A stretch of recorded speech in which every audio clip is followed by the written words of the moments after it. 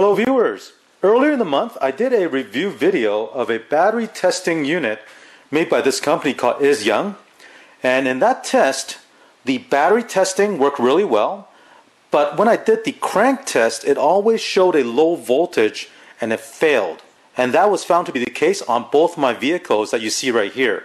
On the far end I have my 2017 Nissan Pathfinder and I know the crank voltage on that is good. So I contacted the manufacturer of this test unit and I informed them of this finding. After about two weeks, they came back and they provided me a software update for this tester. And I went ahead and upgraded the software on this unit.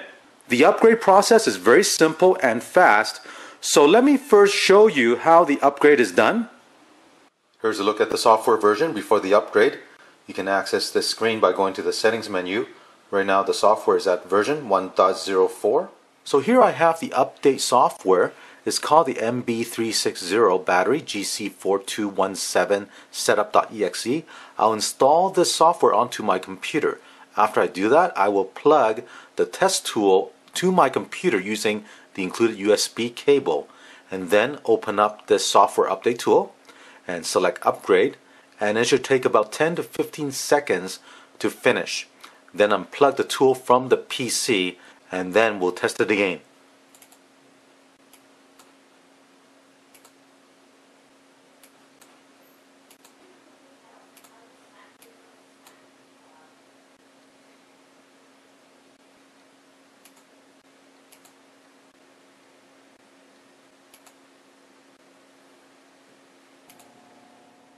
Now I'm going to plug the unit to my PC using the USB cable.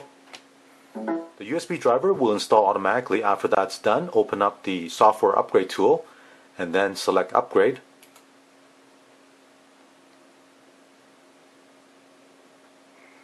On the unit right now the screen says upgrading and you see the upgrade success. Go ahead and disconnect the USB cable. Here's a look at the software version after the upgrade. It still says version 1.04 but let's test it out and see if that fixes the crank test. So here I'm going to go into the starter test.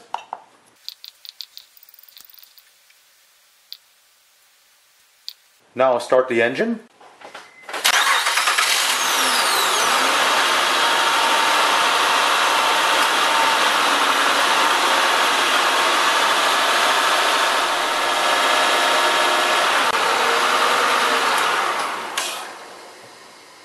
So as you can see, the charge status is normal, charge voltage is good. Now the crank status says normal. Crank voltage is 10.8 volt. And if you remember the last test I did in my last video, the voltage reading for the crank was about 2 volt lower than this. So the last test you saw was on the Honda Odyssey. Right now I have this set up on my Nissan Pathfinder. So let's run the same test and see what the result is.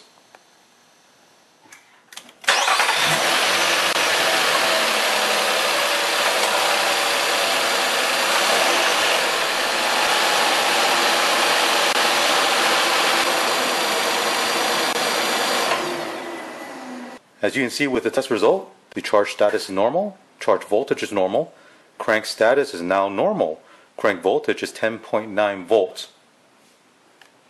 So as you can see, the software update definitely fixed the issue with the crank testing on this tool. It's always nice to see a manufacturer provide support for their product.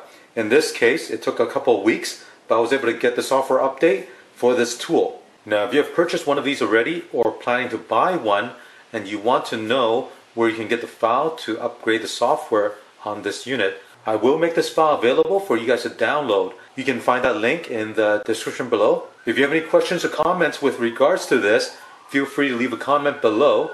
And as always, thank you for watching, and don't forget to click on a thumbs up and subscribe to my channel. Thank you.